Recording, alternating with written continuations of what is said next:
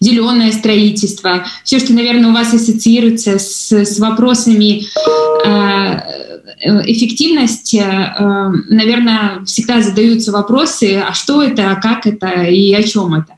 Поэтому я сегодня очень рада, что Ксения Агапова, э, заместитель директора консалтинговой компании «Экосоветник», э, присоединилась к нам и э, начнет наш сегодняшний вебинар как раз очень интересной, важной темы. Да?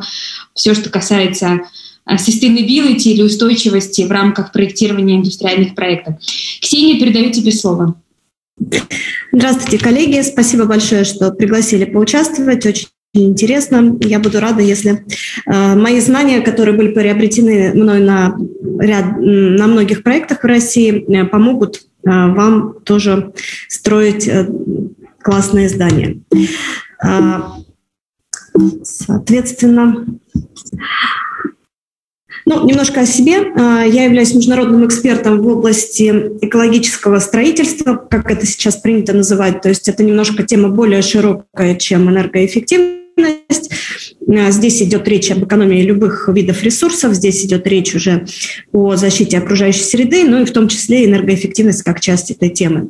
Э, мы довольно много объектов уже имеем, которые мы сертифицировали, которыми мы занимались в России. И, соответственно, у меня есть квалификации международные, которые позволяют мне э, помогать проектировщикам делать их проекты более энергоэффективными. Вот. Ну и есть MBA в области строительства и э, диплом в области экологии. То есть все совпадает. Вот. Ну и начать хотелось бы с актуализации данной темы, хотя все мы прекрасно понимаем, что она очень актуальна, но э, в этом году было несколько знаковых, э, скажем так, событий именно с точки зрения некого нашего высшего руководства, что дополнительно были э, стипулированы вопросы экологии устойчивого развития на высшем уровне. И сейчас действительно в индустрии чувствуется, пошло, э, пошли более, э, кто, эти вопросы стали более актуальными.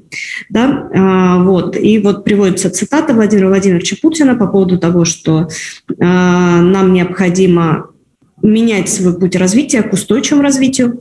И э, самое важное, что устойчивое развитие России, сказал Владимир Владимирович, в меняющемся мире потребует не только сильных людей, но и действенных механизмов их реализации. И нужно при, превратить интересные замыслы в жизнеспособные проекты. И вот как раз я постараюсь в этом ключе э, свое сообщение вам донести. Каким образом можно создать такой механизм, который мог бы э, какие-то красивые идеи устойчивого развития, какие-то красивые идеи по энергосбережению, э, как можно, какие, каким механизмом можно внедрять это в проекты. Э, вот. Соответственно, какие у нас возникают проблемы современности и как на них отвечает современная экологичная архитектура. А, ну, во-первых, это повышение ресурсоэффективности зданий на протяжении всего жизненного цикла. И далее я более точно на этом а, сфокусируюсь. Второй момент, который мы сейчас наблюдаем в качестве такой тренда и тенденции, что довольно быстро появляются, обновляются технологии, и нужно успевать э, следовать за их ходом.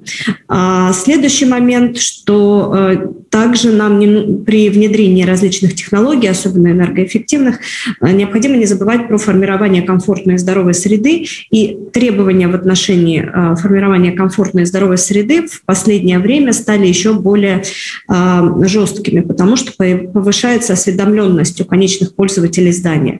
По сути, здание сейчас рассматривается не просто как некий пассив, который лежит на балансе, а как некий актив. То есть это некое сооружение, которое должно помогать а, существующим а, процессам в этом здании, оно должно помогать осуществляться более эффективно. Следующий такой момент, на который хотелось бы обратить внимание в рамках актуализации темы энергоэффективности, это то, что Э, ВВП России, он достаточно не энергоэффективный, если так это можно назвать. Да? То есть энергоемкость выше, чем во многих других странах, и это действительно важная проблема. И те, э, скажем так, ресурсы, которые мы растрачиваем на неэффективное использование, мы можем применять э, более качественно и тем самым повышать доходность своей экономики. И более того, можно сказать, что внедрение ресурсоэффективных технологий технологий может стать потенциальным источником роста ВВП страны. Вот. Это очень важно, потому что на масштабах это особенно сильно ощущается. Кроме того, что еще важно, то, что любой а, индустриальный промышленный объект, он строится как объект под какую-то задачу, под какую-то организацию. А, и если мы говорим о крупных корпорациях, то меняются вообще, в принципе, их требования к тому, какие пространства они занимают. Я более 8 лет, более 7 лет проработала в компании Johnson LaSalle, которая занимается коммерческой недвижимостью, международный консультант.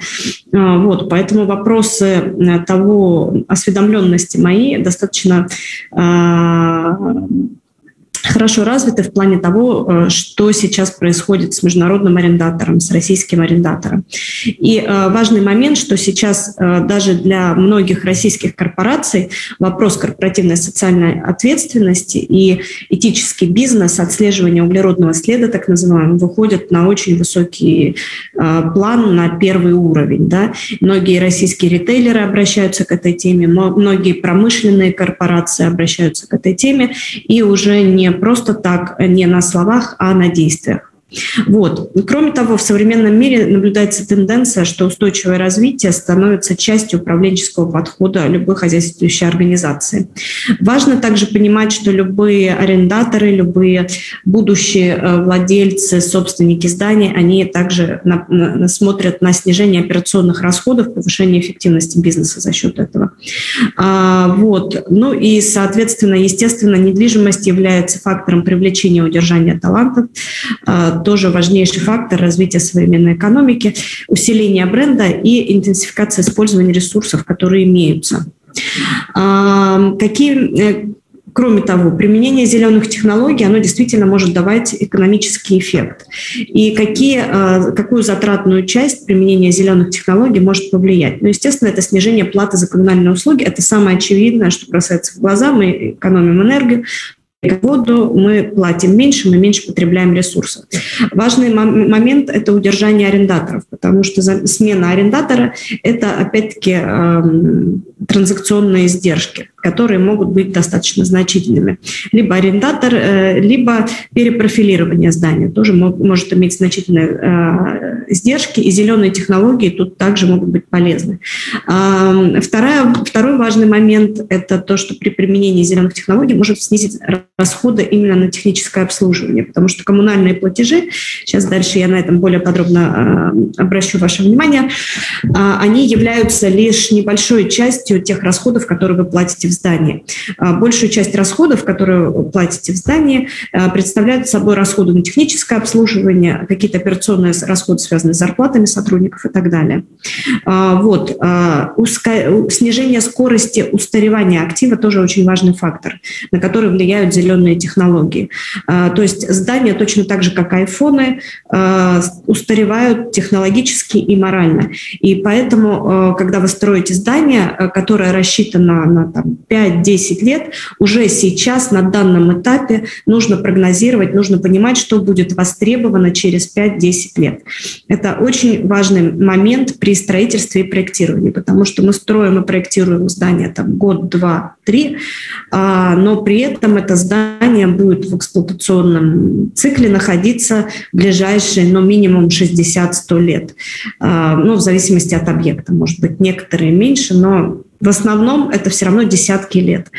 А, поэтому думать над тем, какие технологии вы будете внедрять, нужно исходя из этой перспективы. Ну и, конечно же, возможные штрафы ужесточения законодательства, потому что э, а, все равно на международном рынке, э, на любом, э, скажем так, на, в любом случае любой современный рынок рано или поздно приходит к тому, э, что необходимо предпринимать какие-то меры по защите окружающей среды. Это влечет за собой в том числе и появление каких-то штрафных санкций, связанных за несоблюдение этого. Вот. А, ну и вот я говорила про, капитал, про, скажем так, те затраты, которые связаны с зданием, если мы будем рассматривать на протяжении всего жизненного цикла. Соответственно, мы проводим такое, такую работу, называется анализ стоимости здания на протяжении жизненного цикла. И, как правило, когда мы анализируем объекты, капитальные затраты, которые тратятся непосредственно в данный момент на строительство, если мы берем перспективу лет 60, например, а, они составляют приблизительно ну, 25-30% от того, что вы потратите на здание на протяжении всего его жизненного цикла, на объект некий инфраструктурный. Да? А, вот. И, соответственно, дальше распределяются расходы каким образом? Во-первых, э, самую большую часть расходов составляет приведенная стоимость расходов на техническое обслуживание здания, что интересно, да, и на замену какие-то, на ремонт, на восстановление каких-то различных компонентов этого здания. А, есть затратная часть, связанная с управлением этим активом, и, конечно же, есть приведенная стоимость коммунальных платежей, и, как показывает практика, она не такая высокая, но, конечно же, она зависит от стоимости на коммунальные ресурсы, в нашей стране она, у нас есть небольшая фора, что она ниже, чем а, в аналогичных э, проектах в других странах. А если мы говорим о каких-то положительных факторах, связанных со внедрением энергосберегающих и зеленых технологий на индустриальных проектах, на проектах инфраструктурных. Какие у нас есть а, плюсы? А, ну, во-первых, есть такой плюс, называется простота. То есть у нас меньше требований к каким-то внутренним условиям комфорта внутри здания непосредственно. У нас есть какие-то сложные требования, связанные с технологическими процессами, но именно требования с поддержанием комфорта внутри здания, они значительно более снижены по сравнению, скажем, каким-нибудь жилым зданием офисным. А, как правило, на любом индустриальном объекте есть собственное производство энергии. Об этом я поговорю чуть-чуть попозже, но это также а, является позитивным фактором в плане того, что у вас есть возможности по снижению углеродного следа этого здания путем внедрения альтернативных источников энергии. А, и тут же есть такой следующий момент, который плохо влияет на, скажем так, на экологичное здание, связанное с тем, что, как правило, такие объекты находятся в плохой доступности транспорта, в плохой доступности доступности для каких-то коммунальных э, услуг. Э, и поэтому альтернативная энергетика здесь может быть особенно важной. И важно понимать, что стоит, что будет, что можно даже сравнивать для конкретных объектов, находящихся на удалении где-то, что будет э, выгоднее использовать традиционные источники энергии, либо, э, соответственно, заменить какую-то часть производства энергии за счет альтернативы. А, Соответственно, технологии строительства, опять-таки, инфраструктурные, промышленные объекты, как правило, строятся сборных конструкций, которые обладают э, изначально э, заготавливаются фабричным методом. И и тут в плане экологии у нас как раз большие бонусы, потому что это и меньше отходов на строительном объекте, лучше качество строительства и так далее. А, вот. Ну и, соответственно, э, как правило, такие объекты отличаются тем, что это достаточно э, короткий цикл производства объекта, то есть это больше объем строительства, и поэтому контролировать проект можно проще и лучше по сравнению с, с объектом, скажем, э, жилым или, скажем, с каким-то офисным объектом. Да, происходит, и, кроме того, конечно же, происходит экономия масштабов. А, какие а, есть проблемы, которые мы видим при повышении устойчивости, экологичности и энергоэффективности логистических да? Промышленных объектов? Соответственно, ну, во-первых, это то, что, как правило, строительство ведется на каких-то территориях изначально природных, э, сельскохозяйственных угодий, поэтому там э, вопросы охраны природы и ливневых вод, э, сток ливневых вод, вот какой-то строительный контроль выходят на первый план, и там их достаточно сложно осуществлять. Это, конечно же, транспортная удаленность, которая влияет как на экологический след самого строительства, так и на экологический след дальнейшей эксплуатации здания. А, вот. И опять-таки связано с тем, что, как правило, это легко возводимые какие-то конструкции. А, это чувствительность к факторам нагрузки, такие как а, нагрузки на кровлю, а, возможности размещения мансардных окон и так далее. То есть, ну, есть такие вот своеобразные. Что, как правило, внедряют такие объекты, какие технологии? Я подумала, что это будет интересно. Ну, это, во-первых, организация раздельного автоматизированного учета энергопотребления. Это всегда очень полезно и помогает лучше прогнозировать эксплуатационные расходы использование альтернативных источников энергии в а, определенном а, проценте от потребляемой энергии. Причем важно понимать, что, конечно, для разных регионов этот, э, эти технологии будут э, работать на разном уровне. Да? Где-то они будут лучше работать, где-то хуже. Вот, соответственно, минимизация протечек, минимизация каких-то аварий, а, улучшение срока эксплуатации объектов и повышение устойчивости отделочных материалов тоже для промышленных объектов имеет колоссальный значение и с точки зрения, в том числе, эксплуатационной. А что мы применяем, чтобы объекты были более энергоэффективными? Мы применяем, скажем так, а, несколько этапов контроля качества. Очень важный момент, то, что мы делаем, это называется, проводим такое исследование, называется энергомоделирование. То есть мы в 3D отстраиваем полностью модель здания. Это не BIM-технология, это несколько другой, э, другое программное обеспечение. И далее мы а, при помощи специального программного обеспечения заносим все параметры здания, параметры инженерных систем, ограждающих конструкций а, в эту модель запускаем симуляцию энергопотребления на протяжении 365 дней в году с тем погодным графиком, который для данной местности характерен. И на выходе мы получаем э, некий отчет, в котором мы видим прогнозное потребление энергии для данного здания, причем оно не по расчетным каким-то э, коэффициентам рассчитано, как обычно это делается по нашим нормам, а оно все-таки более детальное и учитывает какие-то особенности конструкции этого здания, например, ориентацию на местности. Потому что у нас, например, в Москве был проект, когда при помощи энергомоделирования мы выявили, каким образом, с какой стороны лучше размещать окна для здания. Как это сказывается на энергобалансе данного здания. Вот. Но благодаря такому энергомоделированию видим такие интересные красивые результаты. Например, как правило, для индустриальных складских объектов а, самым большим фактором энергопотребления, казалось бы, является освещение. И если мы делаем более эффективные технологии, внедряем по освещению а, внутреннему искусственному, то мы сразу получаем моментально а, экономический эффект от внедренных мер. Зачем вообще делается энергомоделирование? Помимо того, что мы хотим как бы перепроверить наши системы, Энергомоделирование в том числе делается для того, чтобы мы могли а, понять, какую технологию максимально эффективно внедрить для данного объекта. То есть нельзя говорить, что а, все а, одинаковые объекты, все объекты, они как бы вот надо только это делать или только то. Для каждого объекта необходимо отдельно рассматривать, какая технология будет, даст максимальный эффект. Если мы берем, например, обычное складское здание, максимальный эффект дает, как правило, внедрение правильного искусственного освещения, датчиков движения, движения и так далее. То есть мы достигаем а, экономию моментально процентов на 50 на все энергопотребление. Вот. Если мы, например, возьмем другой тип недвижимости, офисное здание или та, те объекты, где теплопоступления, да, допустим, большие, а, там будет совершенно другой профиль энергопотребления, и технологии потребуется внедрять совершенно другие. А, если возра... перейти к вопросам альтернативной энергетики. Да?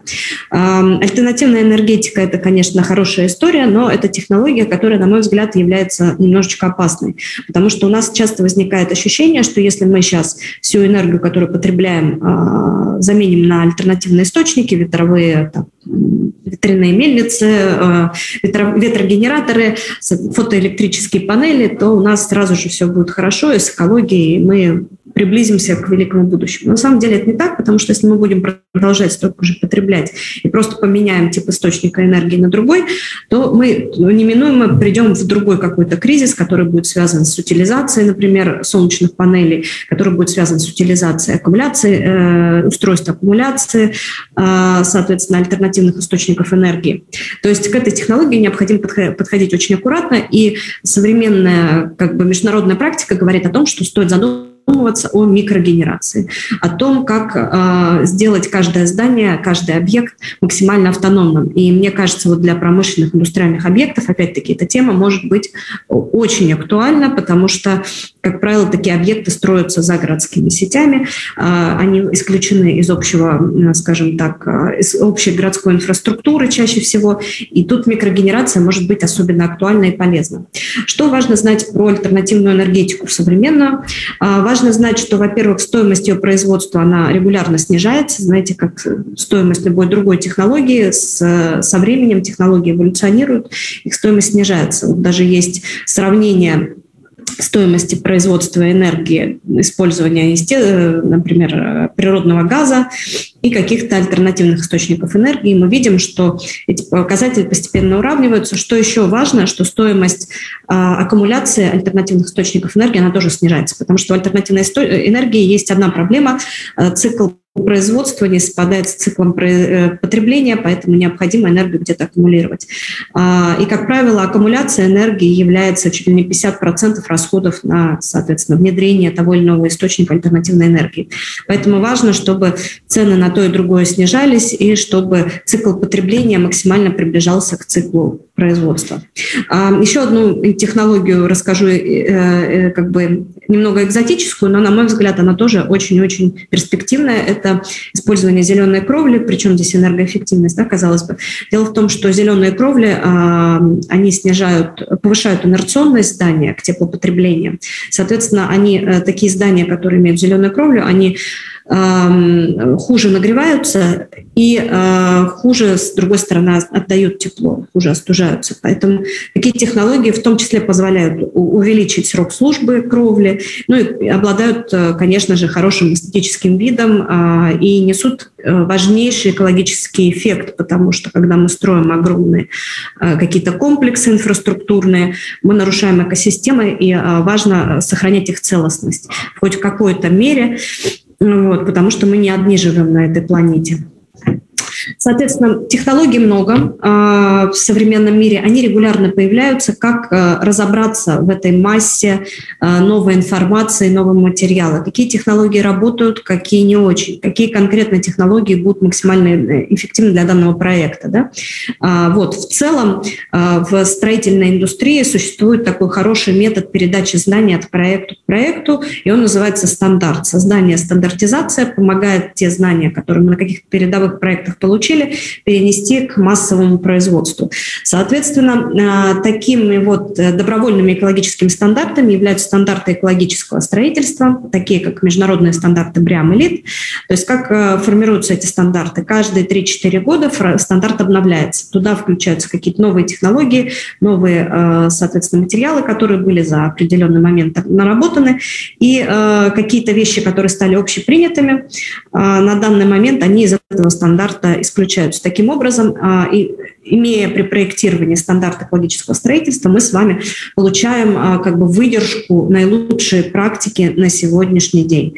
И мы можем на нее ориентироваться. И она проверенная, потому что а, никакие технологии, которые только появились на рынке, но еще не прошли апробацию, в стандарте не появляются. Там уже проверенные технологии заложены. Вот. Ну и, соответственно, немножко я постараюсь кратенько рассказать про сертификацию зданий зеленых. У нас есть сейчас два наиболее известных бренда сертификации – это Briam Elite это, соответственно, международные экологические, бренды экологической сертификации. Как я уже сказала, это инструменты внедрения инноваций. Это некий комплексный подход к проектированию здания, чтобы учесть все экологические моменты, моменты устойчивого строительства. И, конечно же, это бренд узнаваемый во всем мире, а, потому что капитализация проекта будет, естественно, зависеть от каких-то маркетинговых историй, которые заложены в этот проект. И а, когда, скажем, какой-то международный инвестор, какой-то инвестиционный фонд будет рассматривать перед собой а, как раз в инфраструктурных проектах много таких, много есть возможности для альтернативного инвестирования именно с точки зрения внедрения зеленой технологии. И, естественно, какая, когда какая-нибудь организация вроде ЕБРР или IFC рассматривает различные проекты, а, если она видит проект, который имеет при себе а, бренд Бриама или Лита, она будет рассматривать его более тщательно, более, более приоритетным будет такой проект. А, вот, соответственно, я тогда сейчас не буду на выгодах застройщиков, арендаторов, потому что я в предыдущих э, подробненько рассказала, небольшой краткий обзор рынка, то, что в России сейчас более 200 э, проектов уже было сертифицировано по международным стандартам, э, довольно много проектов сертифицируются тоже в странах СНГ. Этот тренд уже на сертификацию, он достаточно устоялся. Сертификация проводится не только в московском регионе, но и в регионах различных нашей России довольно активно. Вот, соответственно, Какие типы недвижимости сейчас в основном сертифицируются? А, довольно много индустриальной недвижимости, процентов 25-20 всего а, объема сертифицированных площадей, сертифицированы по международным экологическим, э, процентов 20 от всех сертифицированных проектов – это индустриальные проекты, извините. Если мы говорим про рынок индустриальных зданий, но это Москва на данный момент, то вот э, синеньким на данном графике отмечена доля сертифицированных объектов, и на самом деле она составляет там, порядка 5%, что на самом деле, э, ну, очевидно, является уже неким нишевым рынком. А, вот. А, какие компании корпорации на данный момент активно сертифицируют. Это, например, компания IKEA. Все свои объекты, у них есть некая политика, они сертифицируют по международным экологическим стандартам. Благодаря этому они повышают э, на регулярной основе уровень своей энергоэффективности и экологичности. А, такие компании, как Имашан, такие компании, как, например, Глобус, а, Гиперглобус – это сеть гипермаркетов в Москве и Подмосковье, они работают. Компании такие, как Декатлон, Рейвен, ну и много разных ритейлеров тоже участвуют в этом тренде. Вот. Соответственно, ну, если говорить про стандарт сертификации БРИАМ международный, который наиболее сейчас распространен в России, а, страна происхождения – это Великобритания, он э, стандарт основан изначально на… А, его разработал исследовательский институт BRA Global. Чем он отличается? Тем, что он опирается, во-первых, на базовый научно-технический стандарт, он является достаточно таким научным сборником наилучших технологий, он является достаточно гибким при при его использовании. А, вот. Я сейчас не буду подробно останавливаться, просто хотела привести а, на, на прощание несколько примеров. А, индустриальный парк вот Южные врата, в нем каждый объект был сертифицирован по стандарту БРИАМ. Соответственно, они стали пионерами на рынке, одними из первых, кто сертифицировал индустриальный объект вообще в России по международному стандарту. Они добились реальной экономии энергии на 30-40% по сравнению с обычным складским складскими помещениями. А, что они использовали? Ну, конечно же, а, структурные теплоизоляционные панели а, с улучшенными показателями по э, теплопроводности и герметичности, эффективное наружное освещение, светодиоды, управление при помощи фотоэлементов, энергоэффективные ворота, проводили улучшенный контроль качества энергетическое энергомоделирование, термография по завершению. И еще большая работа проделывалась именно с арендаторами. А, хороший доступ к естественному освещению, несмотря на то, что это склад. Хорошее качественное офисное пространство, а, которое имеет все ну, максимальный комфорт, сравнимый с офисным зданием. Соответственно, а, улучшенное управление энергопотреблением и параллельно автоматизация энергопотребления. Соответственно, рекуперацию тепла, естественно, используют, естественное проветривание в ряде, в ряде складских зданий они также используют, естественное освещение. Очень эффективно, и это дало максимальный эффект, светодиодное освещение, которое контролируется при помощи датчиков присутствия на ряде их объектов. Конечно же, защита, ограждающая конструкция от разрушения, а, вот, повышение бойлеров, котлов, а, ну и, соответственно, датчики взаимодействия со средой. Вот, если буду рада ответить на любые ваши вопросы, а, буду рада связаться и, а, соответственно, разъяснить, если возникают какие-то у вас комментарии. Ксения, большое тебе спасибо. Коллеги, э, дорогие участники, если есть вопросы к Ксении, уже прямо сейчас можно их зафиксировать в чате и э, обсудить. Ксения, к сожалению, не будет у нас до конца э, вебинара. Э, поэтому, если вопросы потом возникнут во время э, уже обдумывания да, результатов э, вебинара, вы всегда сможете к ней обратиться. Был уже вопрос по поводу презентации. Презентации будут доступны у всех спикеров, там же есть и контакты. Можно будет продолжить диалог. А, спасибо большое еще раз тебе за то, что подключилась Спасибо. сегодня и рассказала про очень важную тему, обратила внимание, мне кажется, на основные пункты, которые очень важны с точки зрения вопросы уже самой эксплуатации, потому что, наверное, это не секрет, что реализация любого проекта, она начинается с конца, да, с того, что мы, что должно быть, как мы его будем, как мы будем им управлять, и как раз, наверное, в том числе энергоэффективные решения на сегодняшний день являются очень передовыми, и, может, они не всегда и не всеми используются, но очень много мы сейчас о них говорим, да, если там вспомнить время бума э, зеленого строительства лет пять назад, да, когда мы больше говорили про маркетинг, про то, что должен быть сертификат, э, он должен где-то на видовом месте быть и должно качественно промотировать сам объект, то сегодня мы говорим про содержание, да, про то, как оптимизировать, как улучшить, э, а, в том числе технические решения, как отдельных зданий, так и всей территории. Потому что когда, безусловно, мы говорим про территорию, это на самом деле очень большая работа, э, в том числе э, компании управляющие. Да, и как раз энергоэффективные решения, решения устойчивого развития, они помогают с этой точки зрения.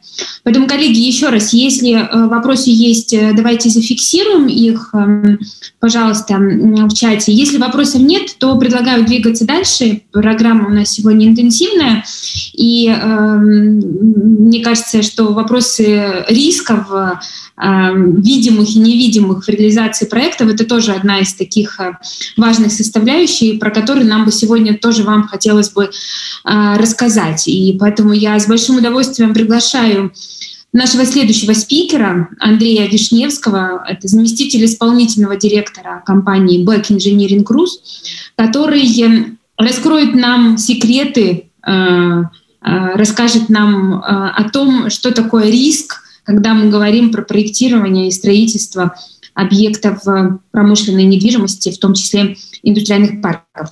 Передаю вам слово. Татьяна, спасибо. Добрый день, коллеги. Э, ну, первым делом не буду долго ходить вокруг да около. Спасибо за уже вступительное